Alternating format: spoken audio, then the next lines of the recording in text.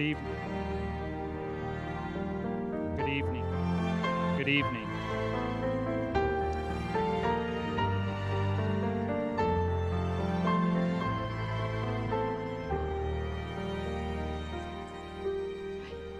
Good evening.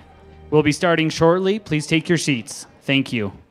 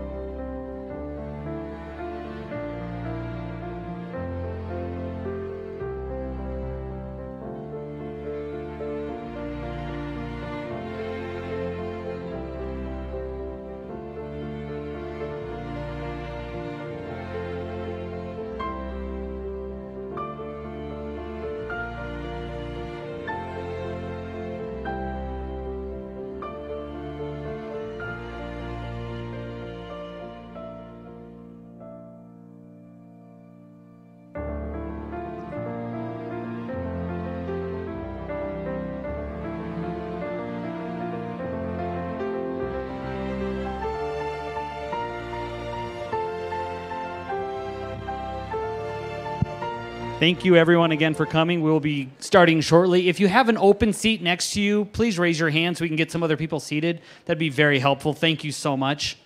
We're also going to get more chairs as we speak. Thank you for your patience. We'll be starting shortly.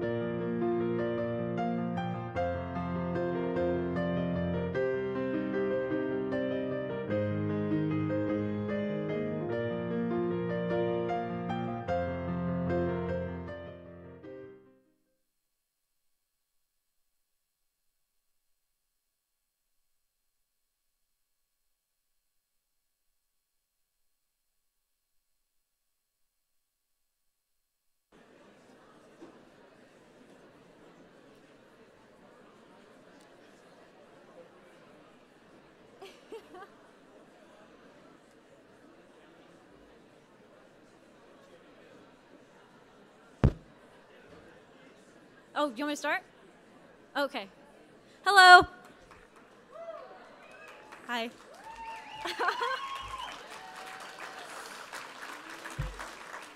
Thank you.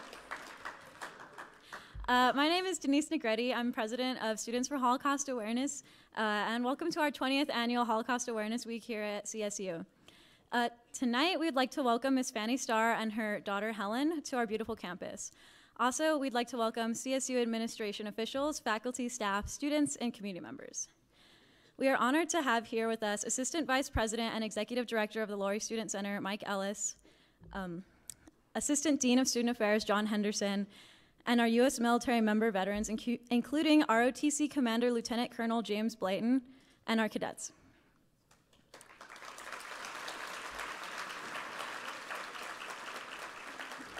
Representing CSU Police is Lieutenant Adam Smith.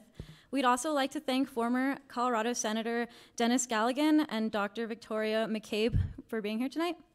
Um, thank you to, sorry, okay, yeah. There's a lot of people on this list, so. thank you to Colorado State University and the Lory Student Center staff for supporting and hosting our events, and to Kate Jeracki of the CSU Media Relations team. Oh, and the CSU Media Relations team, sorry. I would like to uh, acknowledge and thank the hardworking students um, that were part of the Students for Holocaust Awareness Committee. That includes Andrew Schneeweiss, Zach Josephs, Sadie Hazan, Lexi, Lexi Morris, Brett Israel, Gabby Bobick, and Alex Ingberg, the vice president. Um, yeah, sure.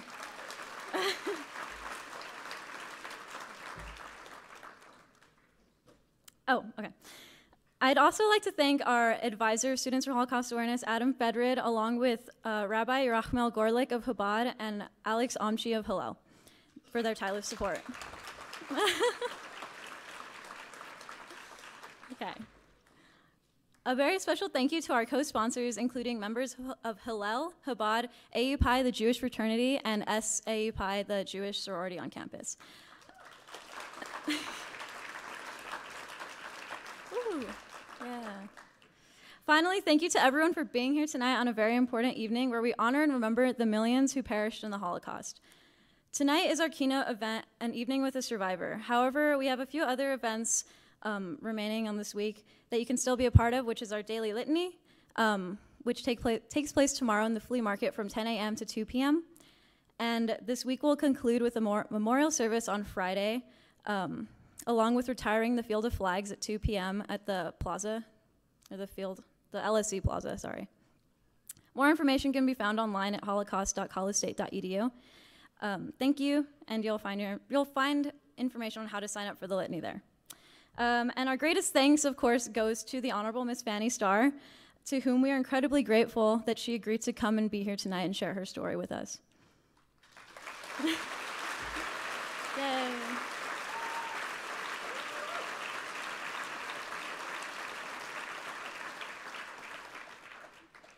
So please make sure that your phones are on silent or off um, to honor our speaker. That would be very rude if your phone went off, so don't do that. Um, we will be having a Q&A afterwards with Ms. Starr after her presentation concludes. If you'd like to ask a question, please email us at sha at csu at gmail.com with your questions so we can like review it and make sure it's okay. Um, so it'll be read aloud afterwards for the Q&A. In just a few minutes, we're going to show a short Holocaust video, and at the conclusion, there will be a memorial prayer in which we're asking you to respectfully rise. Um, now, please give your attention to the screens for video presentation. Uh, viewer and parental discretion is advised, as the images may be disturbing. And lastly, please hold your applause. Thank you.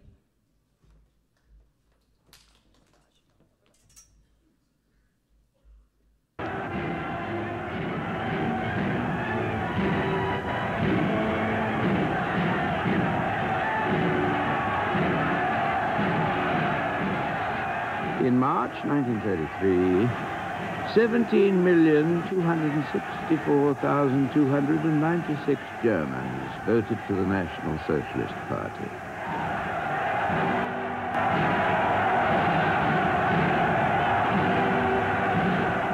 Twenty million six hundred and eighty thousand others cast their vote for Democrats, Communists, Christian Socialists, People's Party, etc., etc. Lack of unity among these parties, opposing the Nazis, proved fatal. The National Socialist Party was in power.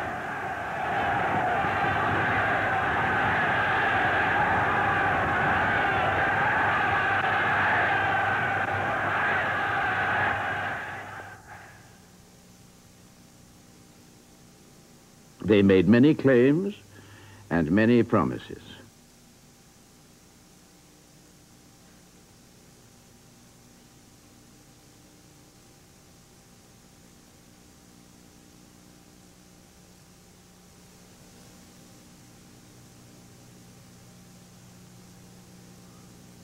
The German people had embarked on that long, incredible journey that led seemingly out of chaos to unprecedented triumph.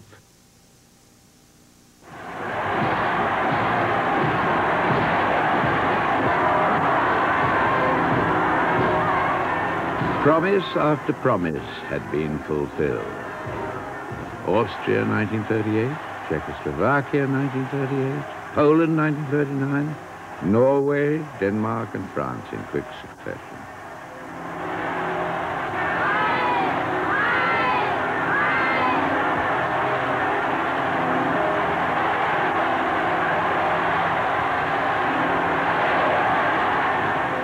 A place in the sun at last.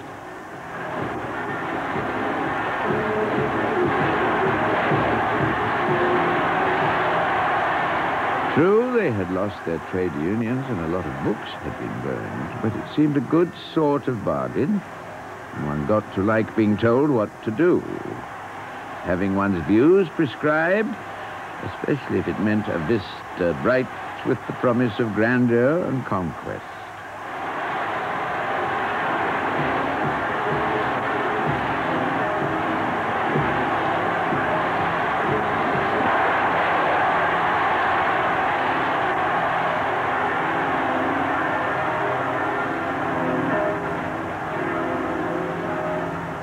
In the spring of 1945, the Allies, advancing into the heart of Germany, came to Bergen-Belsen.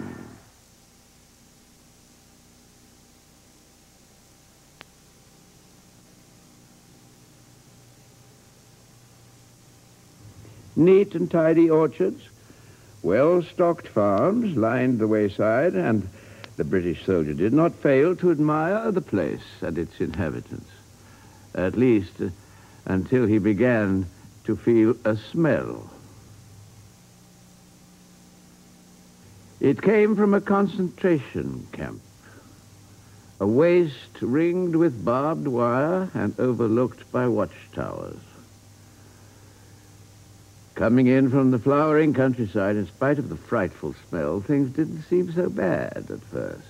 Children smiled through the barbed wire, and women laughed and waved their hands. But Belsen Camp was vast, and inside was a different story. They had not eaten for six days, and every soldier's stock of food was called into use. Water, too, had been cut off, and so the water cart was the most important thing to arrive.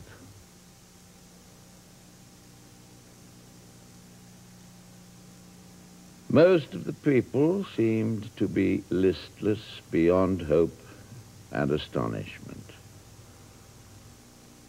Hunger had probably affected them that way. We discovered that among this stench of disease and decay was something a bit worse than hunger.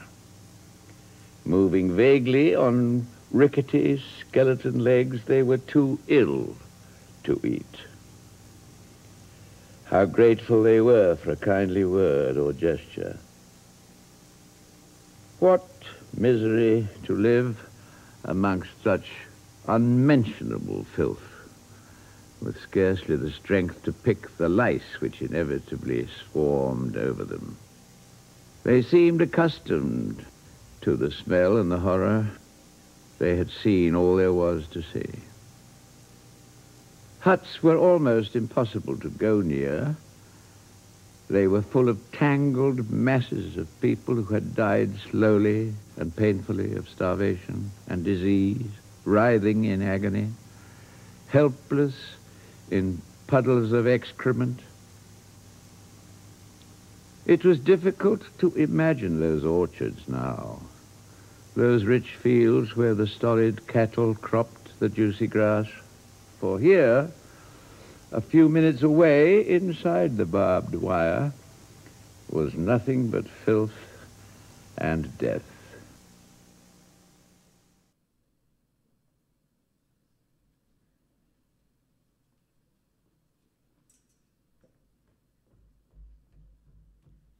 Okay. Um, I'm going to ask you all to rise, please, for the memorial prayer.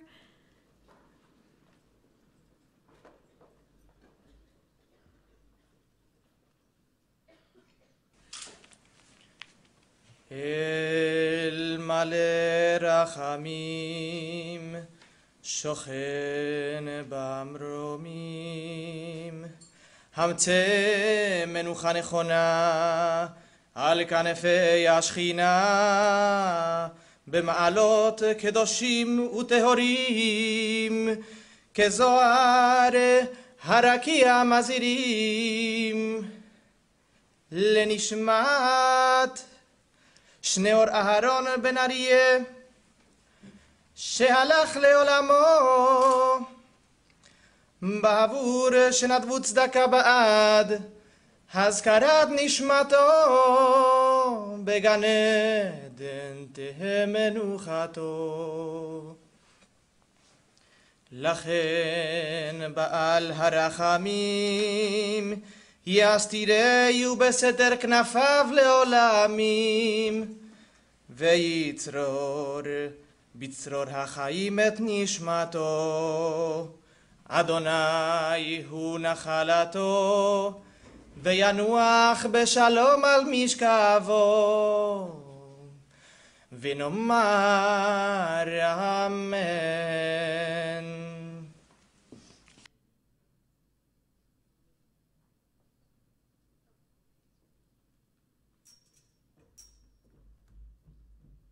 Okay, you can all sit down now. Thank you. Um, okay. I'd now like to welcome Rabbi Rachmel Gorlick to the stage to introduce Fanny Starr to the stage. Thanks.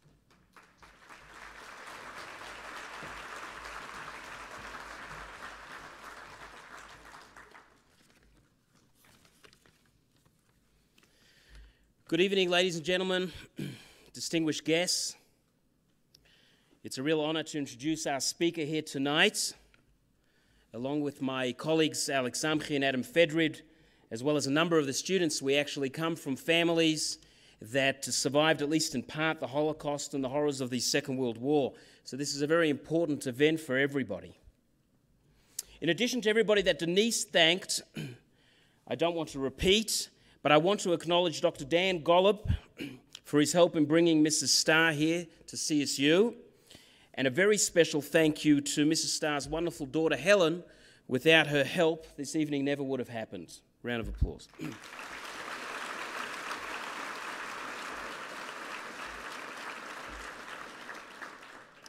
it's very moving to see this event grow into the thousands. I don't think there's ever been this many people for this event before, and it continues to grow. CSU has been very fortunate to be able to secure these remarkable survivors. We actually get called from across the country and even, even overseas how are we finding these survivors to talk, and people want to do similar events as well. And of course, that has to do with all the hard work and diligence of the uh, Holocaust Awareness Week Committee, as well as the support that we get from the LSC and from CSU and ACSU. So thank you very much for that. As we all know, sadly, it's becoming increasingly rare to be able to meet a survivor in today's times, let alone one that is healthy enough and willing to come and share their story.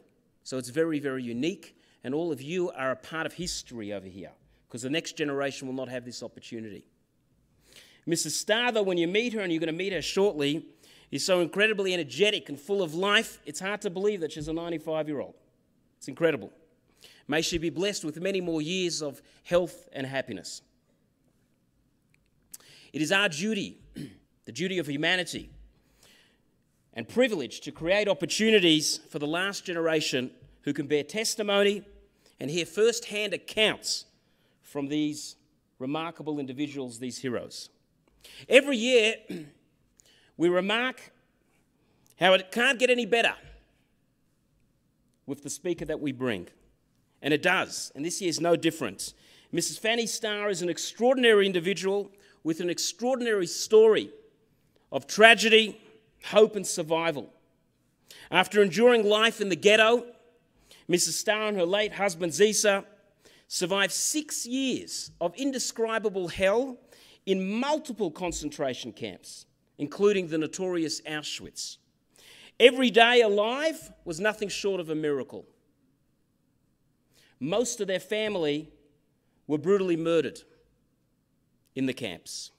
Starting a new life in America, they made a courageous decision to continue a very painful legacy. For over 40 years, the Starrs devoted their lives, made it their mission to fight Holocaust denial. We don't hear a lot about Holocaust denial in these days. It's a crime in many countries, but in those days it was something real. And they devoted their lives to share their first hand testimony of torture, slave labour, and mass murder. Mrs. Starr continued on her own after her beloved husband passed away.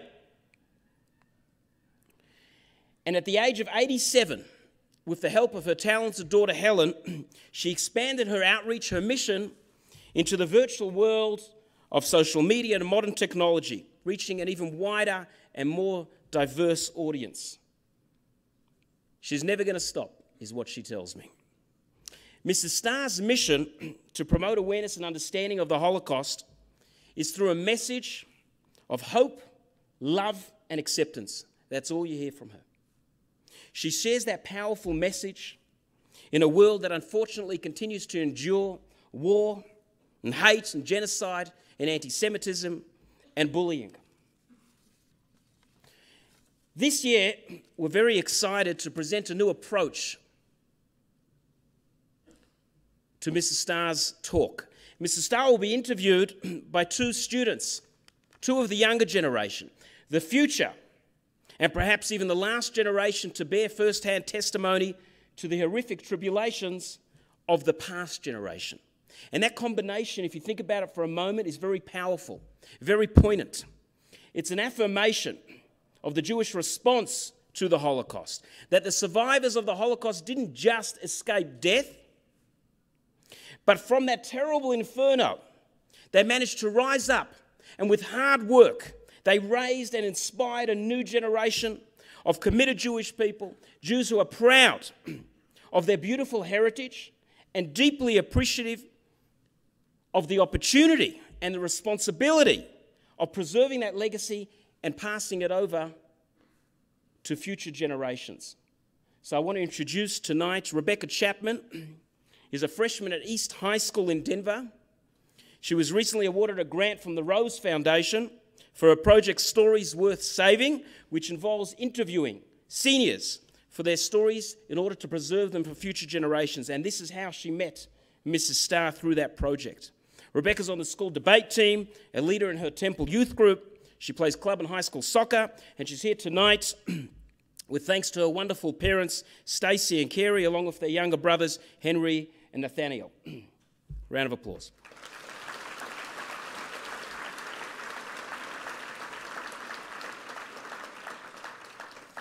We also have tonight helping interview Mrs. Starr, Alex Ingbar, Vice President for Students of Holocaust Awareness. He is a senior here at CSU studying political science with a minor in criminology. Alex is originally from Maryland, and he's an active Jewish student leader on campus as well as in the wider community. He's been part of Holocaust awareness uh, leadership for several years. Alex is also on the CSU wrestling team. He spent recently a year studying in Israel abroad, expanding his Jewish studies. We thank him too. Round of applause.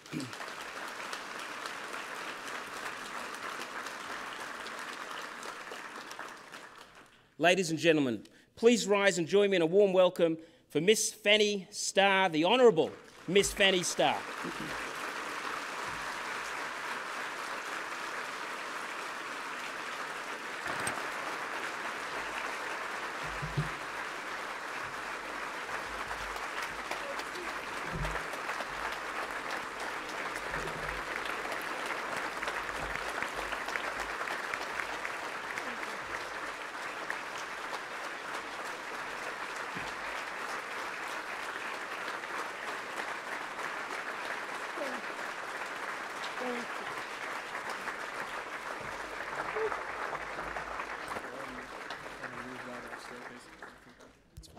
Please, you may be seated.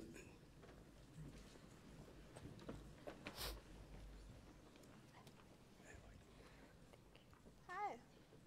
Hello. Um, so first, do you want to tell us where you were born? I was born in Poland, this city called Lodz, L O D Z. Awesome. So tell us a little bit about your family growing up in Poland. So, My family is I prescribed from my childhood on. I was born in Poland. I had parents, daddy, mom, and we were five siblings. Two boys and three girls. mm, and who were your friends growing up? Were they all Jewish? Yeah. Um, and going deeper, were, do you believe that all of your friends were affected when Poland was invaded in the same way that you were? Repeat it, please. I'm sorry, I'm got old That's okay. and I got deaf. but I cannot fight against. I have to accept it like everything God gives you. Of course. Um, so, do you think your friends were affected in the same way that you were when Poland was invaded?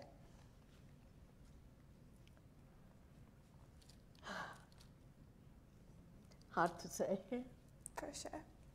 Listen. Sorry, I have to swallow a lot of tears. Six years of agony, lost families,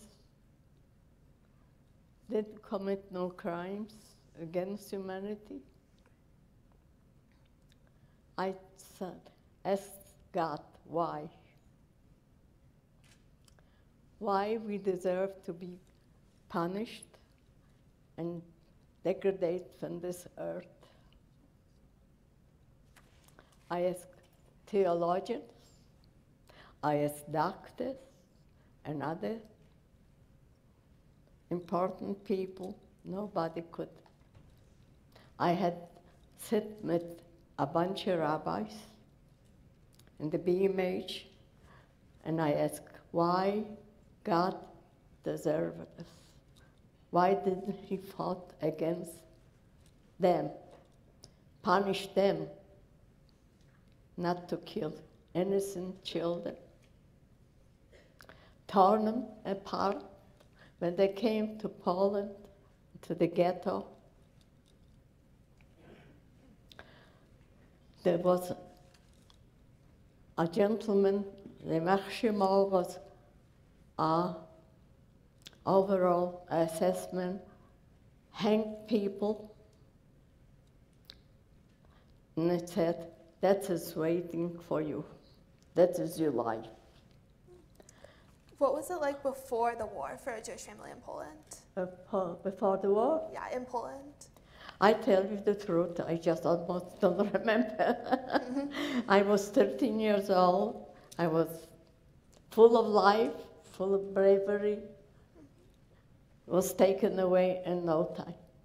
And what was, when did you first know something was different, something was wrong? Come a little closer to me. I'm sorry. When did you first know something was wrong when things changed? no, you see, in 1938, I belonged to a youth group. At that time came a gentleman called Jabotinsky. He was a big leader in the world, Jewish leader. After that, he warned the people. He said, "As a black cloud hanging over our heads. anti-Semitism. That time Hitler came to power, and he said, if you can afford it, run to different country, save your lives. Not everybody was wealthy, co- took the consequences and went to killed without a reason, tortured without a reason. And after that, they create a ghetto. Like, for instance, they took it from this town, made it to diff- the lowest graded town, and took all the Jews over there on the barbed wires. How were you forced into the ghetto? What was that process? Pardon? What was the process of being forced into the ghetto like? You don't remember? He did it because he was try to annihilate the Jewish race. But how did that? How do? How were you forced from your homes into the ghetto? Like, did they knock on your doors and force you out, or what happened? Sorry, you have to repeat that. I apologize, my No worries. deafness. Um, so when you were forced from out of your homes and into the ghetto in Poland, what was that process like? From when we went, there came the SS people to the house and raided and said, "Get out." And we have to keep our arms high and told it in German, "Raus." I understood German. My parents did too. And we walked out and we lined up and went to Auschwitz. We went to the train. And all small cities around my hometown, they brought all the Jews and children and we went all on the train to Auschwitz. Where we went for days on the train back and forth, till finally we arrived in Auschwitz and we met Mengeles going out in the train. It was a slogan written high above, entrant out, Leben macht es, Arbeit macht das Leben mean, work makes you happy. I would translate that. Thanks, Dennis. You agree? was not, was bittersweet. And after that, we met Mengeles. He was in a black uniform with SS riding on the arm, Hakenkreuz. And this time, he was guiding who should go to the right and who should go to the left. I cannot recall after 72 years which one I was chosen. Looks like God told me, go to the right and survived me. And who went in the opposite went to the gas chambers. After that, when they were guests, they went to the ovens, Brandon. Were you with your family in that Uh-huh. po- at that point? My mom, my father, my youngest brother, uh, my oldest sister. My oldest sister didn't go to Auschwitz, she went to Treblinka. Other friends came. Fiona, yesterday, can we talk about a little more about the ghetto and what it was, what the, The ghetto? were? And, and I worked, you know, we did labor work, slave labor work. I work in different places. I work to learn to be a tailor, but I didn't have no knowledge, period, how to thread a needle, either wear a thimble. I couldn't wear the thimble, I had my pen, this one, I'm sorry to show. And this thing, I wore the thimble. I didn't know how to push it. I just had a hole in the middle, and you have to. I worked over there maybe a few weeks, After that, I went to a different place. They made a factory, supposedly be a factory as a slave. Straw. We have to wave, make shoes for the German army. God forbid their feet be not freeze to death. After that, I went to another place. They brought clothing from Auschwitz, ripped apart, all the valuables taken away, and put it in big barrels, like gold coins.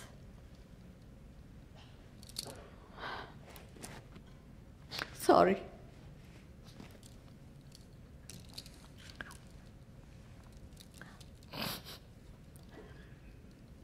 Compose yourself, Fanny. And they brought all the stuff and they collected and they took it to Auschwitz. Gold teeth, name it on this earth. Now, a few months ago, one of the has is in Germany in a coal mine, big, huge trains and the Poles confiscate the trains with all the valuables. I'm just beating myself and I want to go to the World Congress and see what they go do with all that stuff, what belong not to me, belong all the people what perished. So, what were the conditions like in the ghetto? What conditions? Starvation, filth, terrible, terrible condition. We lived in our house still, in the room. Actually, we moved from a nice area to the lower area in the ghetto. Now we try to keep it up. We starve once a week, just get a piece of bread, maybe a half a bread for six, seven people. So, Our meat was horse meat. We didn't get regular meat. Horses were killed and we was rationed. and you stayed with your family the whole time throughout the ghetto? Pardon? You were with your family the whole time in the ghetto? Yeah, till we part in Auschwitz. Mm-hmm. My father just we went down. Actually, we went a whole family in one big train. And just you know, the train, well, uncles and aunts, cousins, two grandmas. And when we went down from the train, we didn't know where we were going.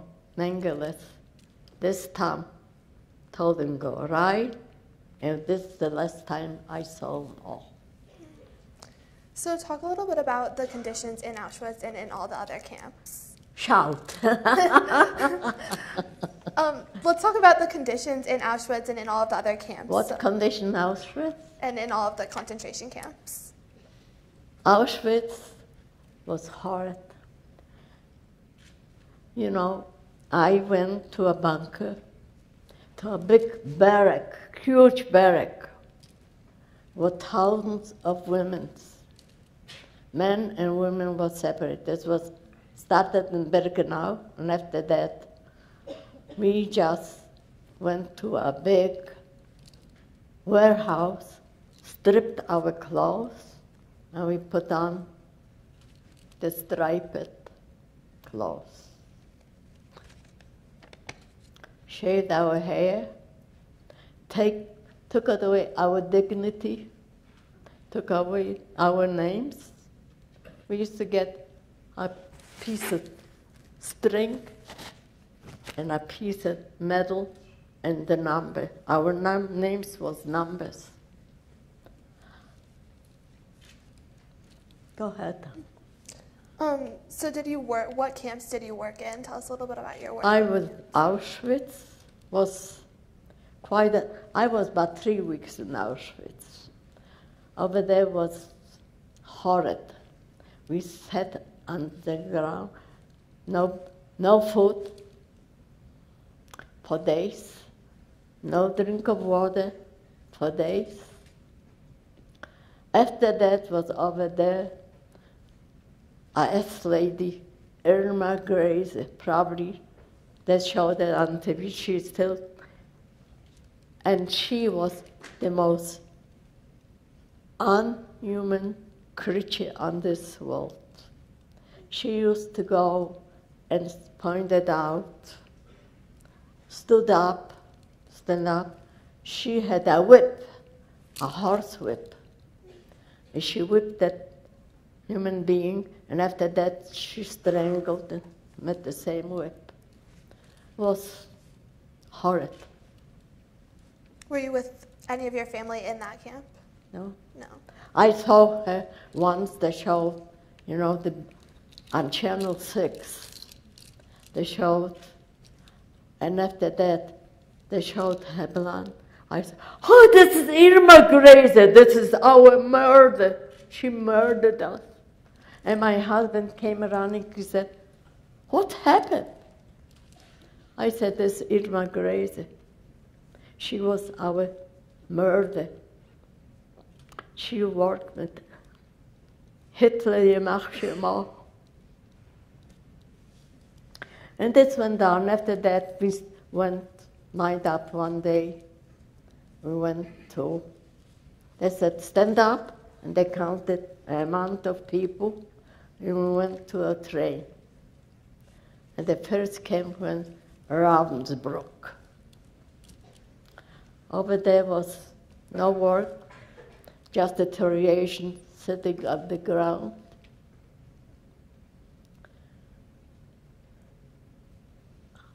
I was lucky, like they say, new luck was like a cat has seven lucks. I was on, I got cut here. I don't know how and when I did it, and got infected. And they picked me out to go to the gas chamber.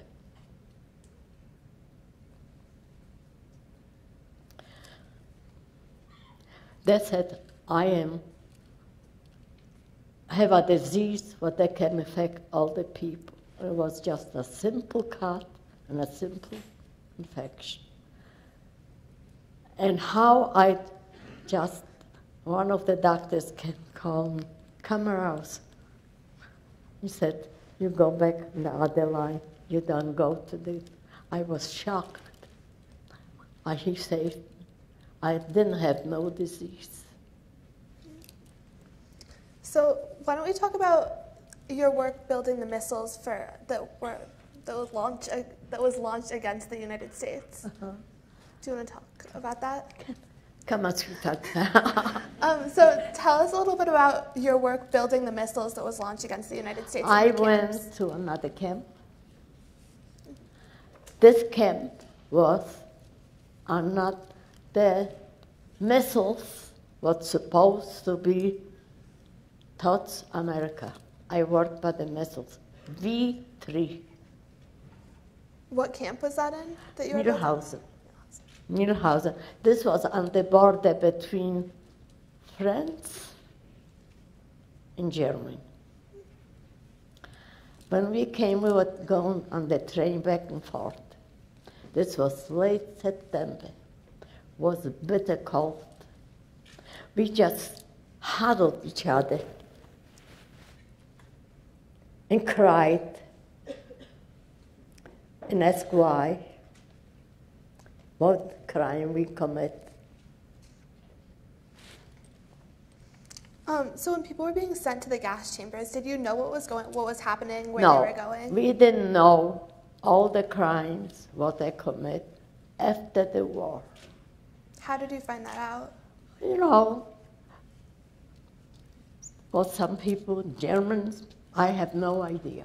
I be honest, I don't know how this came and said all assessment and people what used to work over there, Jewish people like crematorium and Dr. Mengeles, the doctor, he made experiments on our little kids. So talk. About you keep bringing up Dr. Mengele. Let's talk about a little bit about your experience with him. Mine experience Yeah. was bittersweet. What can I tell you? We just skinny like skeletons, work, and start. You saw just a little bit. That didn't show the whole movie. It was just how we looked. We hardly could talk. We just went to the barracks and cried. Can you, Fanny, can you talk about your sister and what she did to save you? Huh? Can you talk about your sister and what she did to save you? Oh, this was after the, when my sister saved me.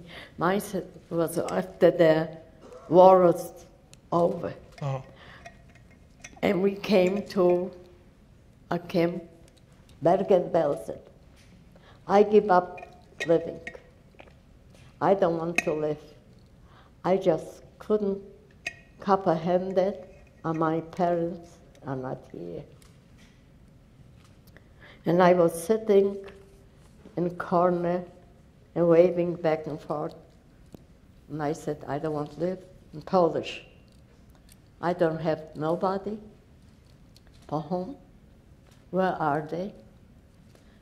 My younger sister, six years younger from me, they met them. They were in Israel. They met my sister and my niece and my nephew. And she said to me, This is our life. And I was sitting on that corner and on the floor, and I just didn't vouch. After that, she stood up and grabbed my striped dress. And she shook me, she smacked me several times over my face. And she said, This is our life. I asked her, Which life? What can we do? Where shall we go? Who will help us? Took a few months, came the Red Cross. Oh, pardon, I was liberated from the British. The British just put us in a barrack and you were on your own. Like the American did liberate, they provide doctors, supervision, what the British just, you said, you free and do what you have to do. Miss Fanny, can you talk about that Kol Nidre story? Huh? Can you talk about the Kol Nidre story of the woman? Oh, the, the, we, this was in Mühlhausen. Yeah, so just for the Yeah, the Mühlhausen, this was in, that, that time I was still not a free person. This was still under supervision from the Germans. And we had, uh, around the holidays, Kol Nidre. They both know what's Kol Nidre. Well, Nidre is the most holy Yeah, prayer of the entire. Jewish year. Yeah, and we had a young lady. She sang, she was in a very religious home. Her father was a rabbi, and she sang Kol Nidre. We didn't sing loud, we humming. Mm, because if the SS people will see it, they will think we're celebrating, they'll be killed.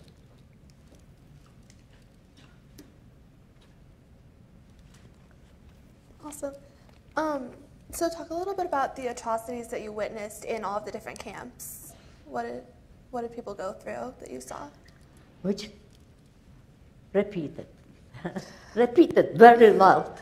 Um, let's talk a little, a little bit about the different atrocities that you witnessed in the camps. The most of the time, the camp, we was just by ourselves. We cuddled each other. Who many people were in the room. There was, was no happiness. Was sadness, bitterness, and crying, and reminiscing. The holidays came.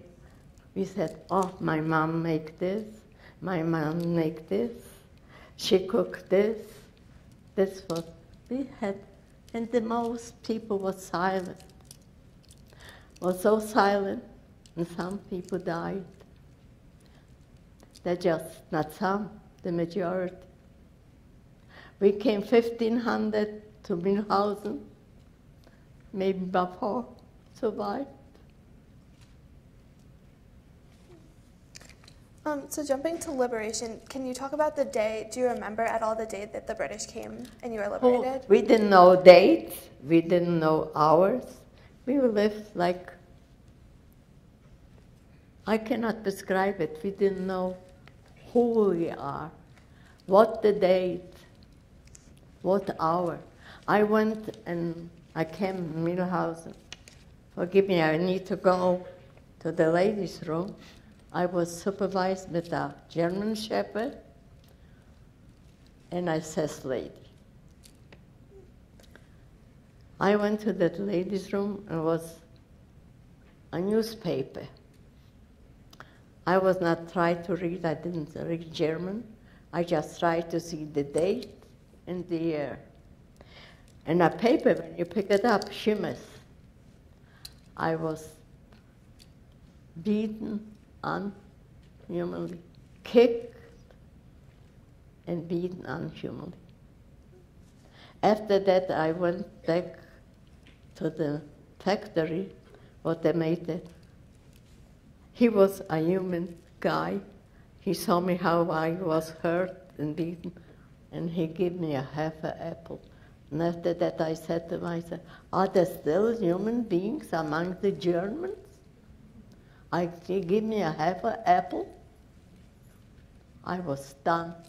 And I always repeat myself, why? Why he did it? Um, so can you describe the liberation? You said that the British came and they took you in, into Yeah, the barracks. libera- I, like I said, they just put us in a barrack and they went down.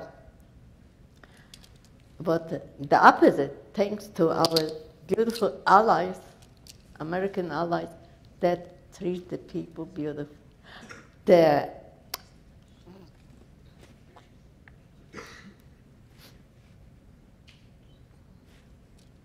like my husband got liberated, they did put in barracks, they put in private homes. They forced the Americans to locate about three, four men in private homes. And that home, her husband was an SS man. He got killed in the war. He, she showed pictures and gave it to what the rabbi saw, all the pictures I showed to them. He said, if my husband be here, he will kill you right away. And I just received it. He just give it to the ally and went all over the United States, all the pictures. A rabbi, what was brand, forgive me, opened crotch, and he wore tzitzis and beard the brand. The brand them to that. First they started with the pace. After that, then the his crotch and put his shirt on fire. They were so unhuman. They have did such crimes as hard. And after that, I would come back to Auschwitz. And Auschwitz, the boys came to my hometown, to an orphanage. You see it on Channel 6 when it's the, this time of the year, they show the little kids with the tattoos. Their kids went all experiments, eyes. He wanted a race with blue eyes and blonde hair, and the experiment how to. They were experiment children. After that, they were guests. I went to the guest. The guest chambers was already the kids are dead, and they brought the kids outside and let them because the crematoriums were overfilled and they were laying for days outside. So let's go back. Let's talk a little bit about meeting your husband. My, me, my husband. Mm-hmm. my husband. Let them rest in peace. I love them. If he be alive, he be over 100 years old. What, what was it like when you met him? Where were you? And I met him in Bergen-Belsen. We belong, I belong to a group called Beitar. This was a youth group from Theodor Herzl Ze'ev Jabotinsky. And somehow we started talking and we fell in love. If he be alive, I've been married 72 years. Matter of fact, we celebrate my birthday, my 95th birthday, and January 29 was our anniversary, 72 years. did, did you guys marry in? Did you, where, did you guys get married? In what- Bergen-Belsen. In Bergen-Belsen. Yeah, they have the rabbi, so they have all the things. My ksuba, my talis, my husband, this was our chuppah. The four guys put, you know, and put the talis, and this was our chuppah. And we got married from a British rabbi. The rabbi read it. After that, the rabbi came and took the tallis, he kissed it, and kissed all the books. And we slept this too. We have books, what was written in Bergen-Belsen, the facts after the war. We have a lot of stuff. I had a table full of stuff to show to the rabbi. He was amazed. Each thing what he said, he was stumped. How we saved it, all this stuff. So, in addition to meeting your husband and getting married in um, Bergen-Belsen, you also had your first child there. Child? You had a child in um, in the camps. I, she was born after the war. She was not born in the camp after. She was born in 1946. My oldest daughter, she turned 70. November the 12th And where was she born? in Bergen-Belsen. Um, so, can you talk? Oh, how was that? What was that like having a child there? Ha- was hard. I didn't know how to take care of a baby. Thanks to my younger sister, she went to school to be a nurse. She, she told you probably, and she helped me raise the child. I was a broken human being. I didn't know where to turn to right, to the left, who I am. Um, after Bergen, how? When did you finally get out of Bergen-Belsen? Even after you were liberated? Repeated.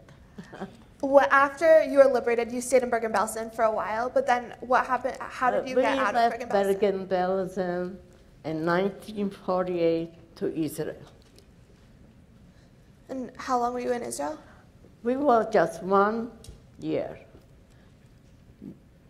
And Israel was a big turmoil in 1948. The right hand didn't know what the left do. That time was Ben Gurion. Know who they. It was,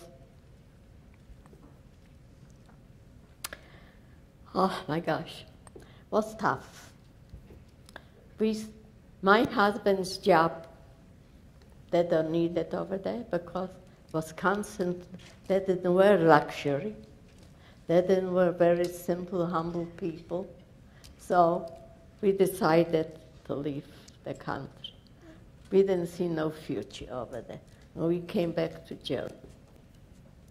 And after that, we came back to Germany. The American ambassadors, British, and Canadian, they took a lot of, the majority people went to Canada. To come to America was not easy. A lot of red, a lot of papers to sign, and confidential, and uh, investigate who you are or what you are. And this went on. and We came in 1951. Who were you with coming to the United States? Huh? Who were you with when you came to the United States? My 1951, my daughter was five years old. And we came to the United States. We went.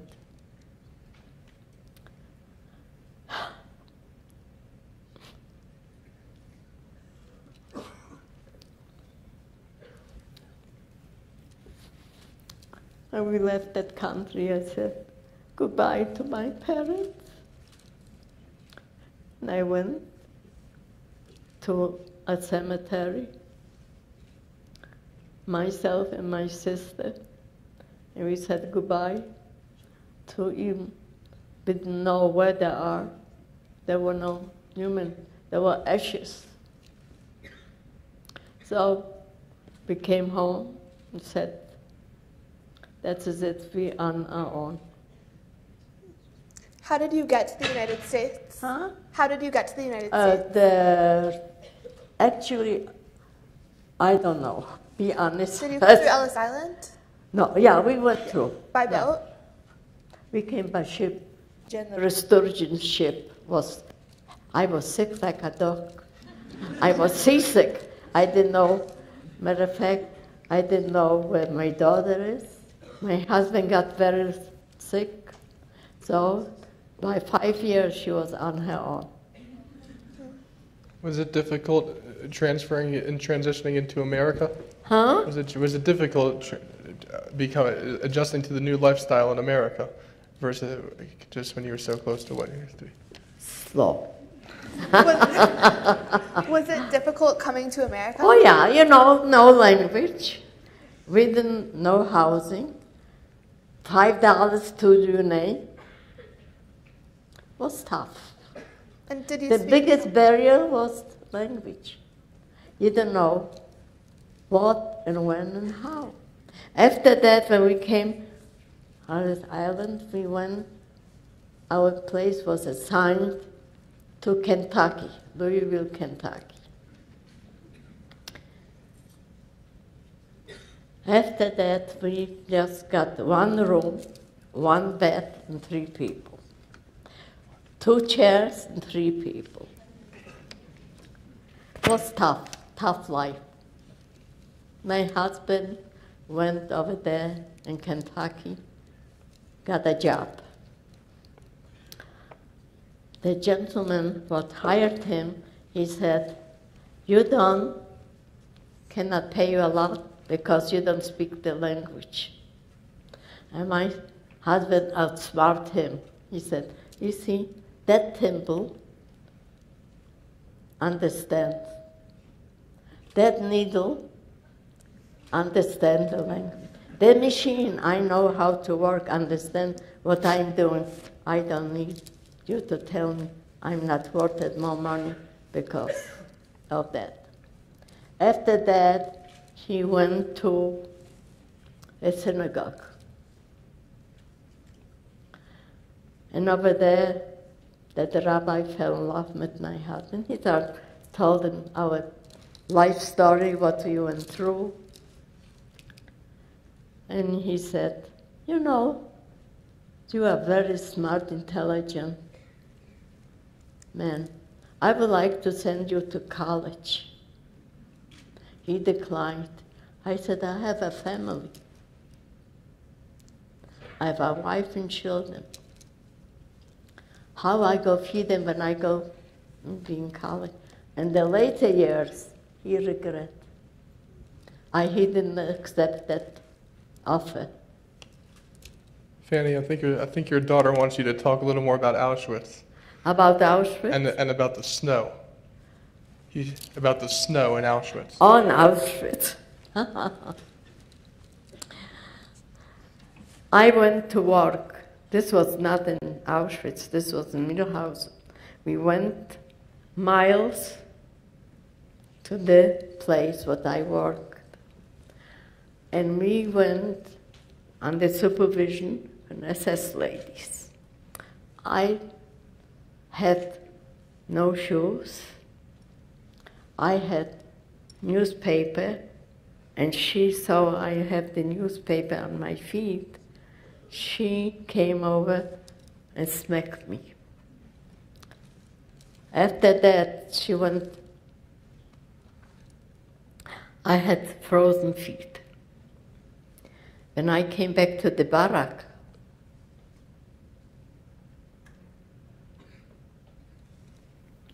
I was beaten why I had the newspaper on my feet. I said I had no shoes. They gave me a pair of shoes, but such a high heel, and the snow was that high. The only thing what she hurt me, she walked back, the SS lady, and she fell. And I started laughing. Not just laughing, I was screaming, God punish you. You hurt me without the reason. I have no shoes. I said, karma took you, give you them.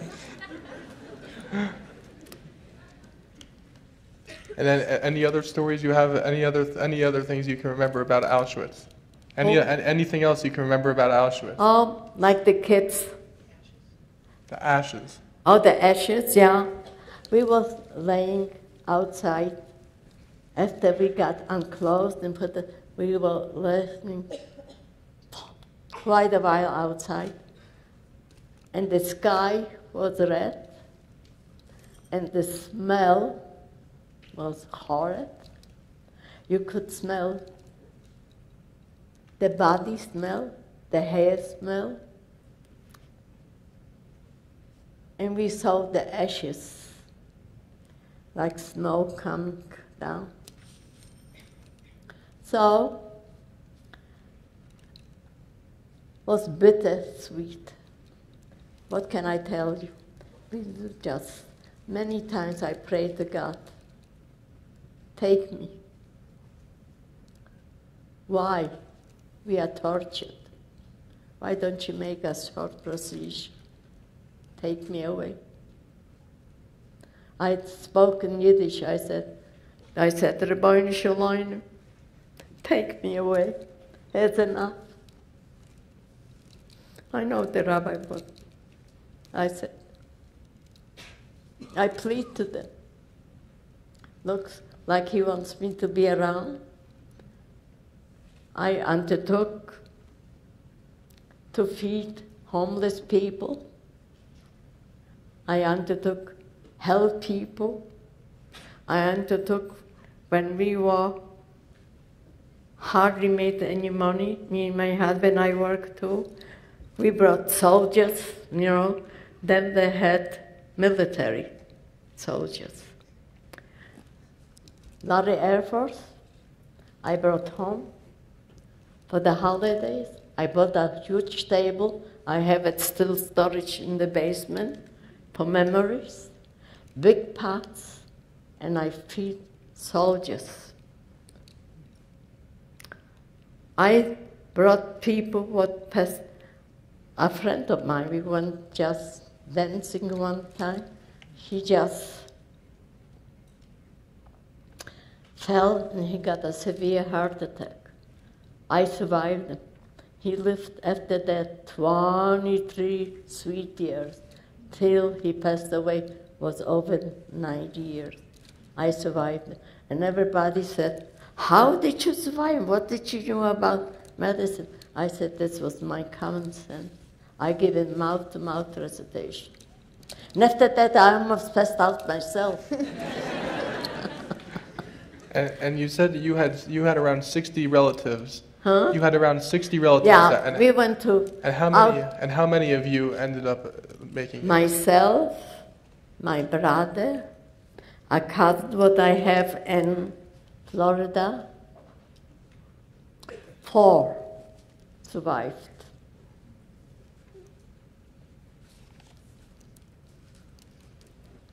Um, so going back to life today, how tell us about like do you have any nightmares now, considering what you went through? I couldn't comprehend it. So, um, after having experienced all these horrid things, do you have any nightmares that you still No. think about? No.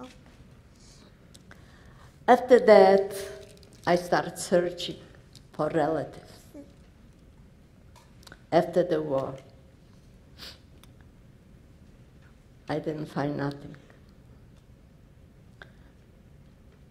I had my brother. He went back to Poland. He got educated in Poland and Krakow. he became a diplomat. After that, he came to the United States. And my sister-in-law, she was a doctor, an endocrinology, diabetes doctor. They came and they were thinking, uh, the red carpet will roll out for them. They had language barrier, they had to go back to school and they declined it and they went back to Germany. He passed on about seven, eight years ago. So how did you end up finding your family after you after you were left Bergen-Belsen? Please repeat. How did you end up being reunited with your family that did survive? How? Mm-hmm. I don't know, be honest.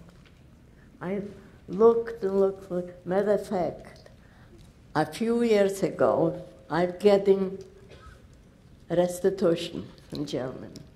And they sent to me a diplomat.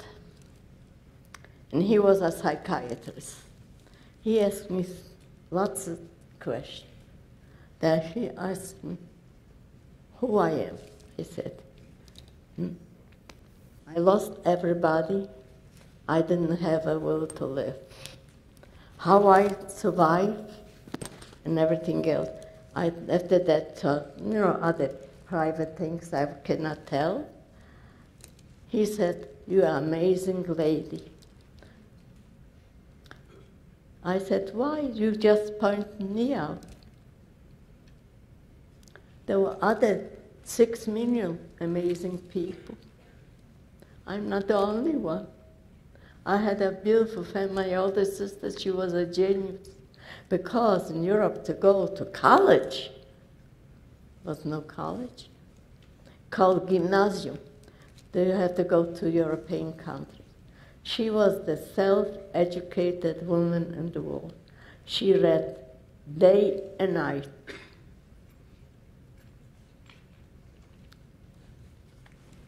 Um, so were you with you were with your sister after you were liberated, After and then you just war, stayed with I her? was just myself and my younger sister.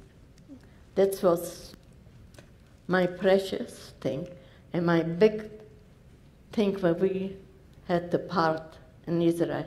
This was mine. She told you probably how our departure. She was here two years ago. I'm six years older. She looked much older like me. Not so? and she has a little bit Alzheimer's. Yeah, so I'm calling her every week on Friday and say good Shabbos to her. Some people will ask questions.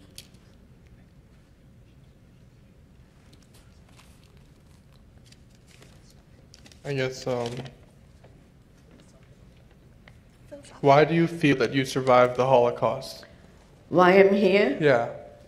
The Rebbeinu Shalom, he gave me my life. He said to me, you will do good on this earth.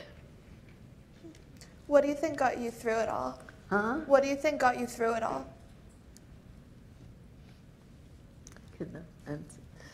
Yeah.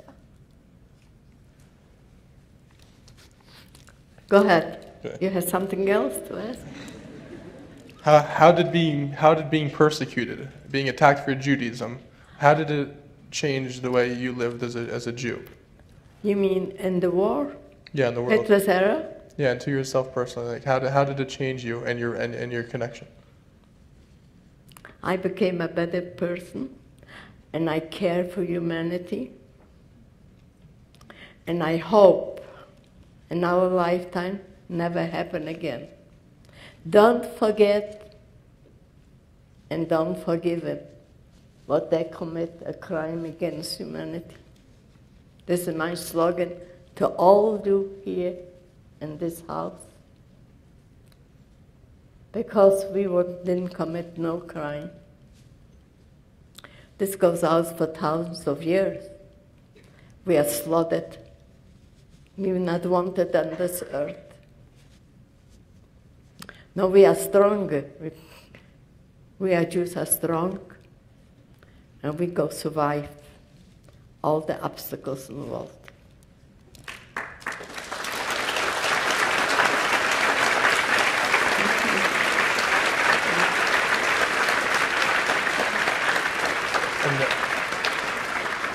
And I guess the main the main question that everyone wants to know is what can they do today to Slow down. what can the, what, what can the people do today? What? What can kids and what can the young gen, younger generation do? Oh, listen, what can the- we do? Like we have now a government, pardon? But I don't like his behavior. And he's going either communist, either Hitlerism. That, that gentleman, he just left, he doesn't believe it. I just very much against this government. I'm afraid I will be again victims. And I'm scared. Well, what's the message? uh, What's the message What is the message? that, that, that the kids can do? That people my message, individually. I hope and pray, if something come out good, he will change because he is not the human being to be a president.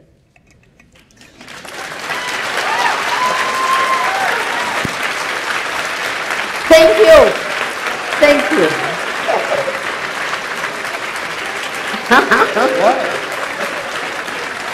Thank you.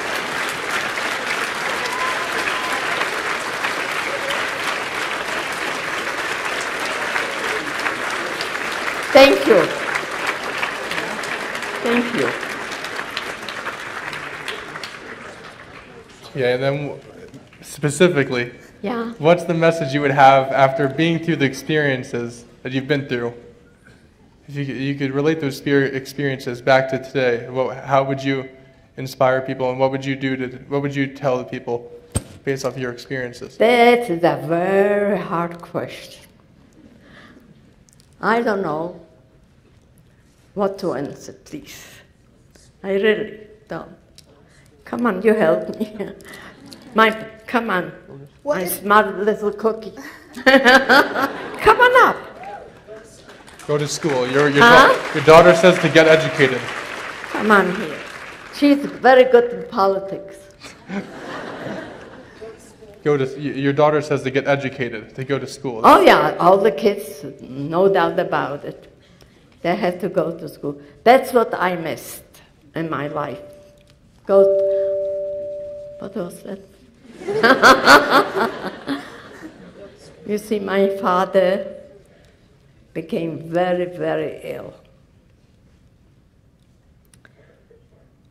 And we were five kids, and my father was, we had a grocery store. And my mom couldn't handle it. So we came from rich, very poor. And I had to give up school. And my older sister had to help it along and give up school. So I'm partial educated myself. be here in the United States. Go read the streets, who I am, passing, and I am educated. I'm educated in a different direction. to talk to people, helping, and be kind and nice. Did I answer your I question? think so.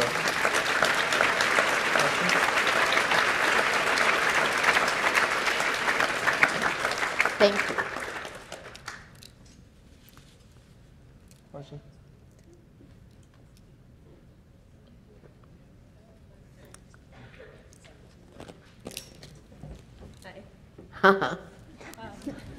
This on? Hi. Okay. Um, so I think now we're gonna read the questions that have been sent in via email. So I hope y'all sent in some questions via email. does anyone have the email? Where's Adam? It's on the, it's on, My help. Thank Sorry. you, sir. no problem. Fan- Fanny, this is. Thank you all for coming again. I'll be reading the questions the best we can get through them. Thank you. Thanks. Thanks, my friends. And I hope in our life can never happen again. Thank you. Love you.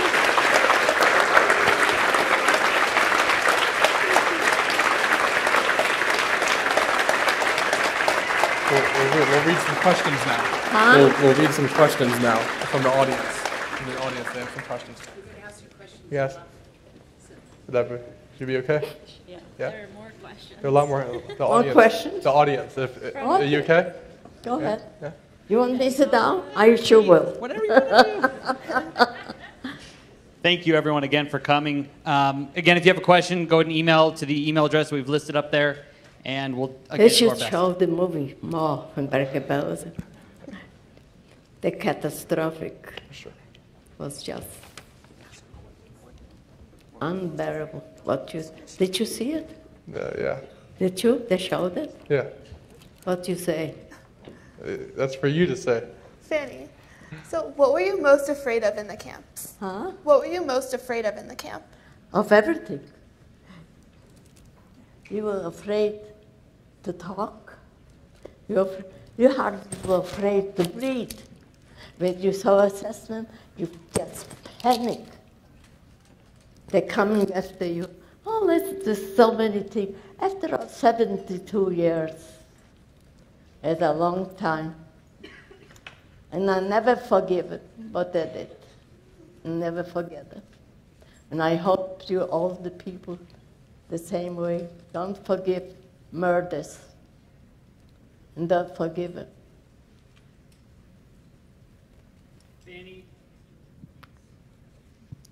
Fanny, did you lose faith in God? I was, you know, I was, after the war, I was an atheist. And I just didn't know, shall I go right, shall I go left? Who I am. And I give up my religion. I married my husband. He became in a religious home. And he, you know what tefillin are?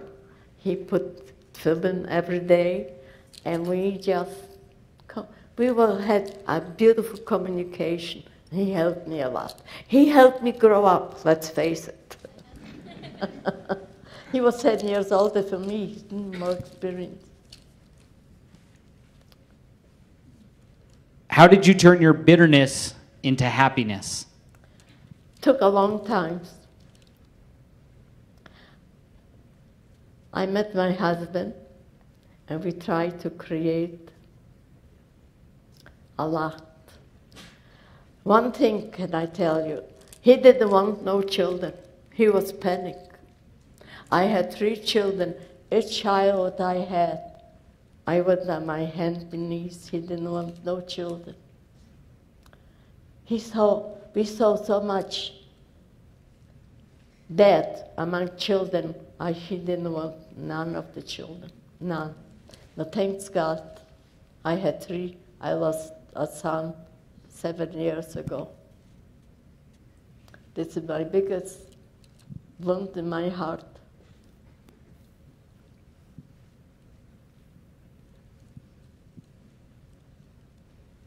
What else you have? what is your opinion of Hitler as a person? What question.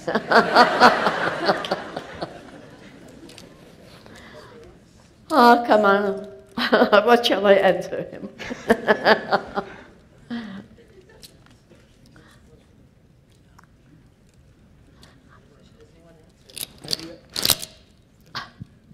come on here closer. Have you ever returned to the camps or Germany? I've been, you see, my brother, when he couldn't settle down here, he went to Germany. And he opened a business in electronics. And I went to Germany about seven years ago. My sister-in-law passed away, and I went comfort him. Each human being, what I saw, I saw a SS lady. Maybe she was SS lady. I saw a German passing by. Maybe he was the SS. I was in fear. I was afraid.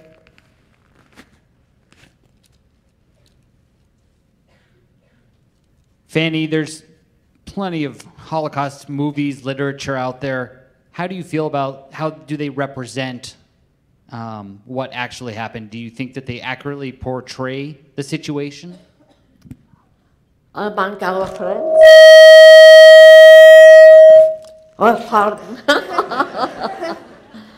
Among my friends, we always talk our past. How the parents, how the brothers, and how the sisters. We just, the, a lots of praising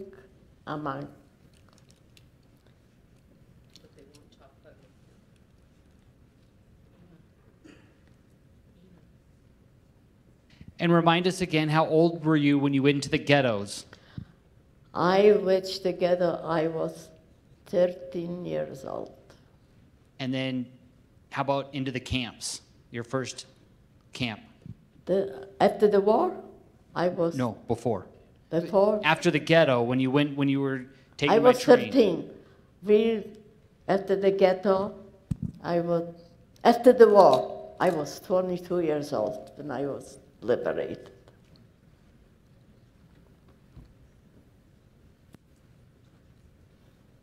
Have, sorry, what have you learned about forgiveness? I will never forgive them, and I will never forget them. And how about forgiveness? Are you able to forgive? I will forgive minor things, not such a catastrophic thing like that did, without a reason. Annihilating six million people. I can never forgive him. Fanny, when you were taken to the first camp with your family in the in the railroad car, there was about 60 of you, if I recall. Is that correct? Become a little closer and repeat it. Sorry. Sorry. When you were taken to the uh, camps in the railroad car, yeah, there were about 60 of your family members in Yeah. the railroad car. just four were left.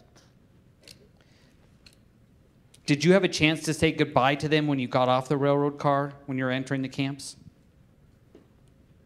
No?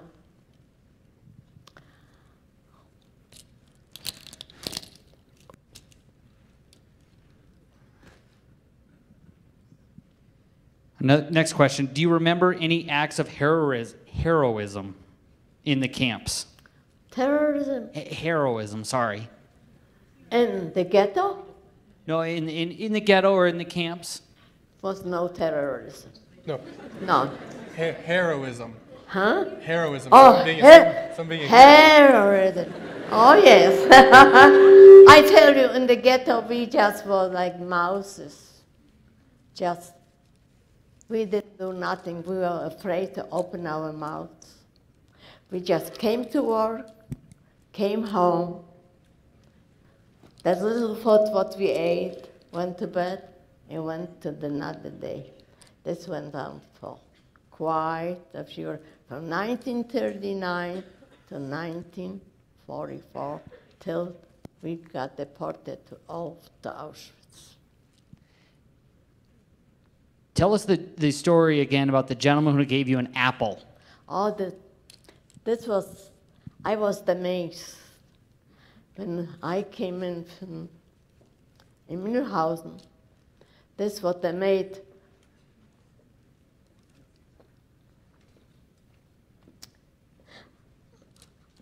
I was so beaten up and, and everything else, like the assessment lady beat me up.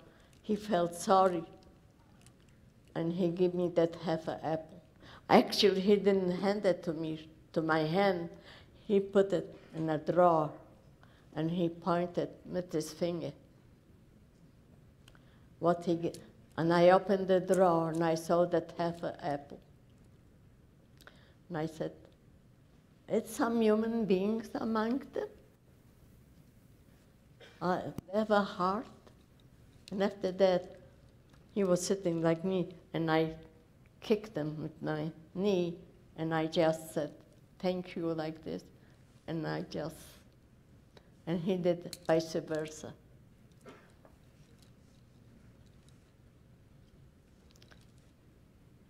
Go ahead. Next question. If you could go back in time, if you can travel back in time, Yeah. what would you tell your younger self before being encamped? What would you say? Oh, what a question. Come on here and closer to me and tell me the meaning from it. What, what if you could go back? If you could go back, and At that time, to when you were very young, what would you t- what would you tell yourself, and what what and based off your experiences, what would you, how would you react differently? I don't know, maybe rebellion. I would put the opposition. And what I could do, I don't know. We were just lost souls on this earth. We couldn't do nothing. We were silent people.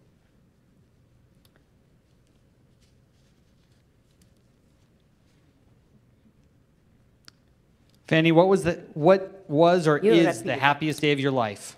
What was the ha- what was the happiest day of your life? When I got married, have my daughters, my oldest daughter, and I named my oldest daughter after my mama, Malka Hinder. This was my happy day. And uh, lots of tears.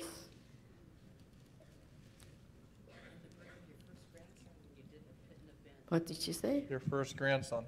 my grandson. Yeah, when he was born, I made a bris, I made a pidyon haben, I made all the trimmings what in the Jewish religion are. Now I have three grandchildren and two grandsons. One is 46 and one turned not too long ago 40. And I cannot believe it. I'm a grandma with 46 year old grandson. not, and then you have pictures from them, show to people. They're gorgeous. My little granddaughter, she's gorgeous. She's a prima donna. F- Fanny, the next question is tell us some tell us some bad things that you witnessed in the camp. Tell us some, tell us something that you witnessed in the camp that was very um, that's very ups- unsettling, very bad. It was not a day good. What starvation and just memories and repeat and talk to each other, and you know, all the girls was no good days. Nothing to be memories for. Bittersweet memories. You talk, you talked about what you saw with us a little bit ago about the kids and Oh, about the the, kids? babies and the things Yeah. you saw. When, you know, in the ghetto, we had, he was the assessment, he was overall in the ghetto. He made the decision. Was an orphanage, and that took. We had, sorry, a Jew. He was not a murder. Sent all the kids to the crematorium. They were tattooed and they were burned. Another group came from a different place. They were gas chamber. They were gas. They were laying for days on the steps near. They called the Rundhaus. And they were laying on the step till they were putting in the climate in the oven to burn.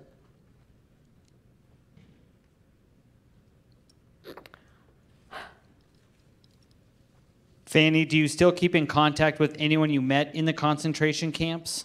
Do you still do you still keep in contact with anyone that you met while in the camps? Yeah, I have a friend. She's in my hometown. She got too liberated in Bergen-Belsen. We are in touch. We are, matter of fact, we are five women. We lost our spouses. And we go two, three times a week for dinners, and we met, meet and reminiscing our past, our bitter past. When you were in the ghetto and the concentration camps, did you think you would see an end to it? I knew what Israel was before. I belonged to that youth group, and I knew Israel was still occupied from the English people. We, I learned a lot. I knew about Israel a lot. And I learned a lot of songs, dancing and singing Hebrew songs.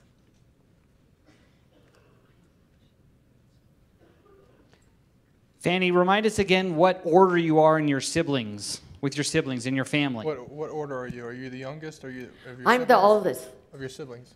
my sibling, Yeah, you were the oldest. Uh, the sibling, and my daughter. No, of your of yourself. Of yourself. Myself and my group, I'm the oldest. The, and not, and Your, your, the, da- your daughter says you were the second oldest. no, I'm the oldest. No, there was your sister. Huh? Oh, my sister. sister Raina, you said Raina. Oh, You said. my sister, my older sister, she be over 100, I said. I was the second, my brother was the third, and my youngest brother was the third. Sorry, Fanny, can I can I ask you a question? yeah? Do you think of them a lot now, or or or are you able to take your mind off of? Do you miss them, or Don't ask questions how I miss them. I miss them very much. I miss my beloved son. No, you- you lose a spouse, you lose a mom, you lose a dad, and if you lose a child, it's the biggest hole in your life. So I missed my son and my husband tremendous. What's she saying? I just cannot. Can't told you sit down here.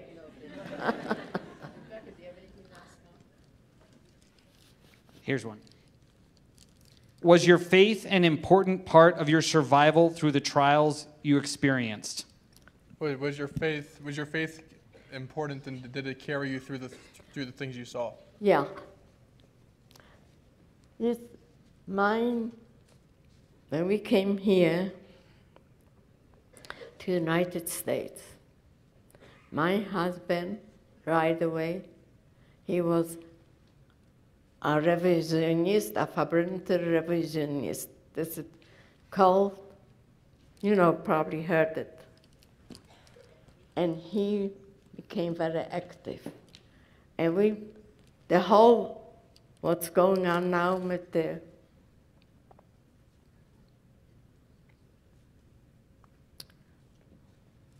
he brought up the group in the Holocaust awareness. we belong to the ADL. And he brought the program to go to schools. She was the first one, approached us. This the gentleman, six next. He loved my husband. He got acquainted, and we just continue our journey. Did I correct answer? I, th- I think you got it, yeah. we have another question. How did you find your brother and your sister after the war? My sister, I was together with her in all the camps from Auschwitz on. My brother was in Dachau with my father. And he just came and said, after quite a few years, he came. And he said, and my father was with him, how much little food they it. He starved himself, and he said, I won't die. I have nothing to live for it. And he just stopped eating. And he passed away. Tell him about 1964. Uh, About the Red Cross and how the Red Cross found Uncle Kuba for you in 1964. You had an encounter with the Red Cross, When they found Uncle and they found that your uncle. your brother. I don't know what you mean, Mama. In 1964, the Red Cross contacted you about Uncle Kuba. Yeah. My brother, the Red Cross contacted me, and my brother survived. so you, you didn't know until 1964 that your brother survived. No. And when did you, where did you meet him? Where He came to Bergen-Belsen. He came to Denver, came to Denver. Oh, in Denver, that's right. Not in Bergen-Belsen. And he came to them. You see, Bergen-Belsen was not a death camp. That place was Bergen-Belsen. And we were all the Häftlingers, that's me, all the survivors, there were in Bergen-Belsen. After that, we went to a different camp called Upjever. And Bergen-Belsen got destroyed. They burned it. Our names are still over there. Who was in the Bergen-Belsen? There's a big, huge list of all the survivors. What survived Bergen-Belsen. Annie, the next question. When were you able to start sharing your story? How old were you? We start sharing our story when we start talking about the Holocaust. When was that? How old were you when you started talking about your story? How old were you when you started spreading your story? Don't ask me, I'm now today 95. Let's go back so many years. I was not a, I was not 95 then. I was when I was young, I was a ball of fire. Dancing and singing and go places. in 1967, you started with the, the club in, listen, Ima, Ima, In 1967, you started with the, with the club. Yeah, yeah. The we started the Holocaust awareness. We went to the ADL. You know what the ADL is? Anti-Defamation League. Yeah. And we met Saul Rosenthal, and we got in touch, and we came nationwide. Even different countries, what she produced. I spoke to a lot of foreign countries and told them about the Holocaust. And they didn't even know such a thing ever existed. in 1967, the Club of New Americans built the Holocaust Memorial. The New Americans built the Holocaust Memorial. You Oh, referred to that. this, you see, is a big problem. No, it's not.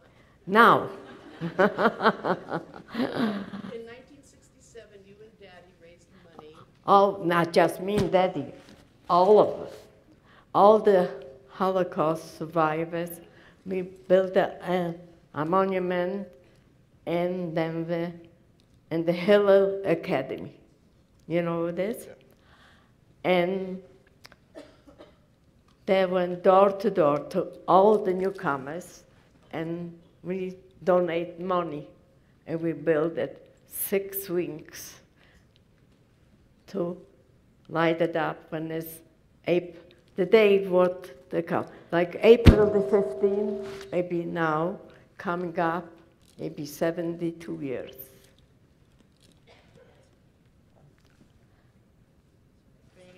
Fanny, when you made the clothes for the people, do you remember making the clothes in the camps? When you, when you made the clothes, the garments for people in the camps. On Germany, Did you do anything to get back at the people that you made the clothes for? I went for the Germans, for this. Everything was not for private. This everything when the soldiers, all the uniforms was for the soldiers. We worked not private clothes, not just uniforms. Fanny, Once you got back to the United States, did it feel like home? Once you got to once you got to the United States, did you feel like you were at home again or no? Oh yeah. We matter of fact, me and my husband fell to the ground and kissed the ground. I said, We are free. We came to the country. What cares? Lots of people, not torture. We could speak what you on your mind, not in the Polish country, what are very anti-Semitic. Even today, Poland is very anti-Semitic. They told that the no new citizens not welcome in Poland. Fanny, do you recall the first meal that you ate once you were liberated? I don't remember that. I know we got it. A meal from the English. They brought some food, bread. It was bit bittersweet. We were choking and crying. It was like a novelty to eat a piece of bread.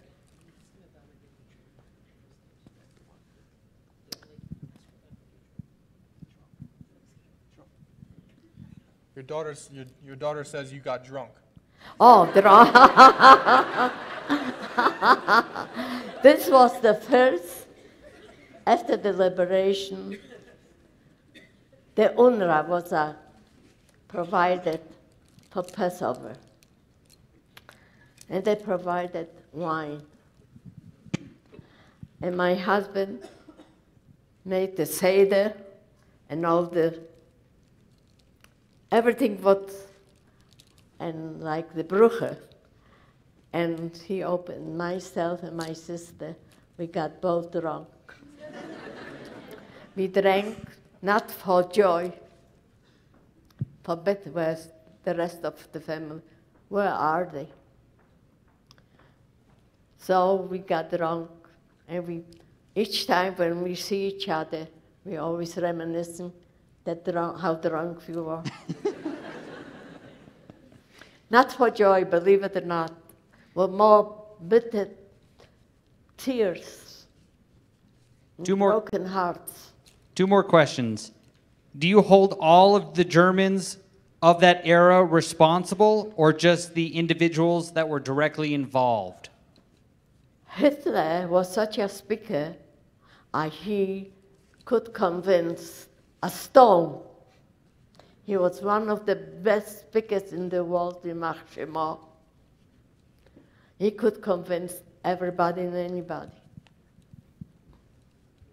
Fanny, one last question. Uh, the Nazis were not the first or the last people to target the Jews. Do you think there's a reason people kept doing that? And is there maybe a positive message that we could take from We it? are tortured from way back. Take the Arab countries, Elizabeth, the Spain, the Queen. I don't know why the people don't like us on this earth, what a crime we commit against humanity. Is it right? Not? Thank you so much for your time and thank you for coming. Thanks for having me. I'm not a brave one like I used to be. Huh? I was. Thanks to all. Thank you.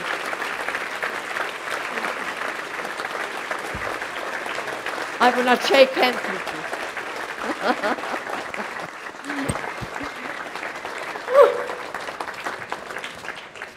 I hope never happen again. Never happen again.